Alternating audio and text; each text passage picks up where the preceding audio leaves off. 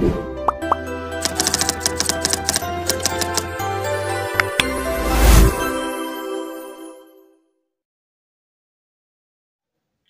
દોસ્તો welcome to Ranjan academy તો friends આશા રાખું છું તમે બધા મજામાં છો મસ્ત છો તો ફ્રેન્ડ્સ આપણે પાવર સિસ્ટમની લેક્ચર સિરીઝ સ્ટાર્ટ કરી હતી એમાં આપણે કમ્પેરિઝન ઓફ કંડક્ટર મટીરીયલ જોયું હતું. બરાબર? આની પહેલાના લેક્ચર્સની અંદર તમે જુઓ. તો કે ઓવરઓલ 10 12 લેક્ચર્સની અંદર આપણે તમે જોતા હશો તો આપણે ઓવર ટ્રાન્સમિશન લાઈન માટે 10 સિસ્ટમ જોઈ અને આપણે અંડરગ્રાઉન્ડ સિસ્ટમ માટે આપણે ચાર સિસ્ટમ જોઈ છે. બરાબર? એટલે ઓવરઓલ 14 લેક્ચર જેવું થતું હશે. એક એક સિસ્ટમ મેં તમને એક એક વિડિયોની અંદર સમજાવી છે. બરાબર? સાથે સાથે તમે નોટ્સ બનાવતા જાજો, જેથી તમને છે ને પ્રોબ્લેમ ના આવે. અત્યારથી વ્યવસ્થિત રીતે જો તમે નોટ્સ બનાવતા જશો જ્યારે એક આખું પાવર સિસ્ટમ તમને YouTube ઉપર વ્યવસ્થિત રીતે બનાવી દઈશ.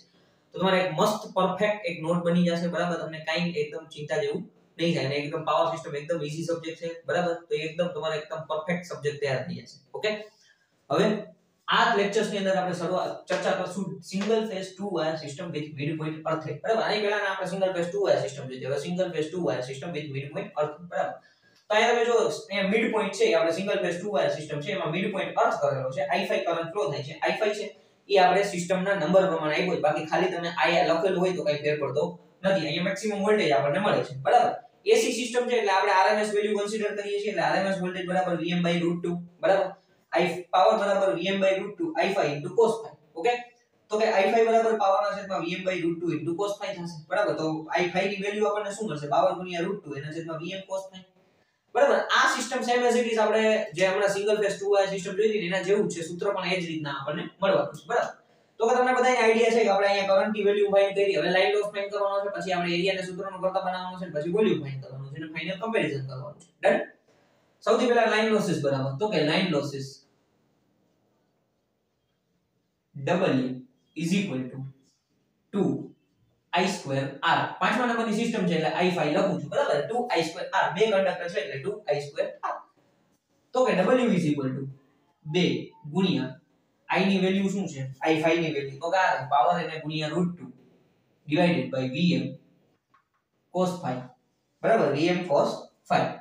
આખા એનો વર્ગ થશે. R બરાબર લખી દેશું આપણે rho l divided by fi હવે આનો આપણે તમે સ્ક્વેર કરશો, એટલે કે 2 એને ગુણ્યા પાવર સ્ક્વેર પાવર નો વર્ગ થઈ જશે. વર્ગમૂળ 2 નો વર્ગ 2 થઈ જશે. એના છેદમાં vm square cos square phi rho l divided by a5 બરાબર? 2 ગુણ્યા 2 કરશો એટલે 4 થઈ જશે. એરિયાના સૂત્રનો ડાયરેક્ટ કરતા બનાવી દઈએ તો a5 બરાબર 4p square rho l divided by vm square cos square phi w. આ આપણને એરિયા મળ્યો. બરાબર? કેનો એરિયા મળ્યો? તો કે આપણે single phase two wire system big point અર્થેનો બરાબર? એરિયા આપણને મળેલો છે. બરાબર? હવે આપણે શું કરવાનું છે? તો કે આપણે પેલા લાઈન લોસ ફાઇન્ડ કર્યા એરિયાના સૂત્રનો કરતા બનાવ્યો. હવે આપણે વોલ્યુમ ફાઇન્ડ કરવાનું છે. તો કે volume is equal to area into length બરાબર? બે કંડક્ટર છે, એટલે બે જ આવશે. 2 ઇન્ટુ a l. ઓકે બે અને ગુણ્યા એરિયા ઇન્ટુ લેન્થ વોલ્યુમ છે. તો કે 2 ગુણ્યા એરિયાનું સૂત્ર આપણે અહીંથી ફાઇન્ડ કર્યું છે. 4p square rho l by by vm square cos square phi w. એને ગુણ્યા l l l ગુણાઈ જશે. 4 ને 8 થઈ જશે. બરાબર? 8p square rho l divided by by vm square cos square phi into w. Okay આગળ જે હમણાં સાબિત કર્યું હતું સેમ ઇટ ઇઝ એ જ વસ્તુ છે. બરાબર? 8p square rho l square divided by vm square, cos square phi into આ આપણને single phase two wire system with mid point અર્થેટનું volume મળ્યું. આ વોલ્યુમ કેનું મળ્યું આપણને? Single phase two wire with mid point earthed સિસ્ટમનું હવે આનું કમ્પેરીઝન આપણે કોની હારે કરશું? તો કે આપણે DC ટુ વાયર સિસ્ટમ એમાં આપણે k લખેલો છે. K બરાબર 4p2 ρl l2 divided by vm2 w. Okay તો એનું આપણે કમ્પેરીઝન કરવાનું છે. તો કે comparison is equal two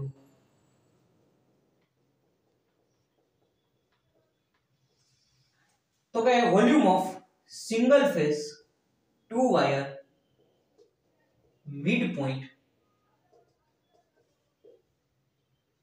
earth system whole divided by DC two wire system.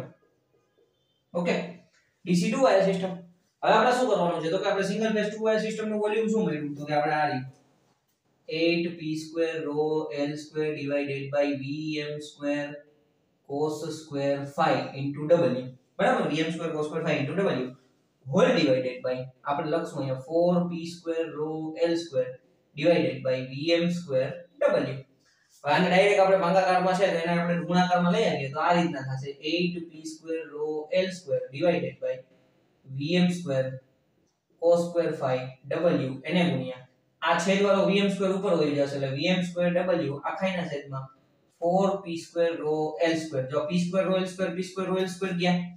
vm vm ગયા. w w ગયા. શું વધ્યું છે? તો કે cos સ્ક્વેર phi અહીંયા 4 1 4 4 2 ને 8 તો આન્સર શું આવ્યો 2 divided by cos square phi અથવા તમે લખી શકો છો 2 divided by cos square phi k. બરાબર? એટલે આ DC2Y સિસ્ટમ કરતા આપણે single phase AC2Y system with midpoint અર્થેટનું volume DC2Y કરતા કેટલા ગણું હશે? 2 divided by cos square phi ગણું વધારે હશે. બરાબર? આ રીતના આપણે બોલી શકીએ છીએ. એટલે 2 divided by cos square phi k તમારે યાદ રાખવાનું છે. બરાબર? આગળની જે સિસ્ટમ હતી સેમ એઝ ઇટ ઇઝ એના જેવું છે. કાઈ ફેરફાર નથી. મિડ પોઈન્ટ અર્થે સિસ્ટમ છે. એટલે બરાબર? પાછું એક વખત ખાલી જોઈ લઈએ ફટાફટ. તો કાઈ આપણને single phase two wire with mid point earthed system આપેલી છે. I5 કરંટ ફ્લો થાય છે. મેક્સિમમ વોલ્ટેજ આઉટર ઉપર મળે છે આપણને. RMS વોલ્ટેજ Vm/√2 બરાબર? પાવર બરાબર Vm/√2 i5 cos θ cos phi. બરાબર? તો i5 ને સૂત્રનો કરતા બનાવશું. તો આપણને ફાઇનલ સૂત્ર શું મળશે? Power √2 divided by Vm cos phi. Line losses find કરશું તો 2i2r i ની વેલ્યુ મૂકો, r ની વેલ્યુ મૂકો w બરાબર 2 એને ગુણ્યા power √2 divided by Vm cos phi whole square into rho l વર્ગ કરશું, બરાબર? આપણે w બરાબર 2 p square 2 divided by Vm square cos square by into rho l a. Okay હવે એરિયાના સૂત્રનો કરતા બનાવો. તો એરિયા બરાબર 4 p square rho l divided by Vm square cos square by આ લાઈન ઓફ છેદમાં વહી જશે. એટલે ડબલ વોલ્યુમ ફાઇન્ડ કરો. વોલ્યુમ એટલે 2 ઇન્ટુ એરિયા ઇન્ટુ લેન્થ તો કે 2 into 4p square royal divided by vm square cos square into w into l.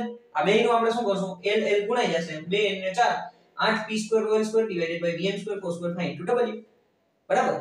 બેયનું comparison કરશું. Single phase volume of conductor material of single phase two wire midpoint earthed divided by volume of DC system એટલે વોલ્યુમનું comparison કરીએ, લખવામાં આપણે વધારે ન થાય એટલે આપણે ડાયરેક્ટ ખાલી સિસ્ટમનું નામ લખી નાખીએ બરાબર?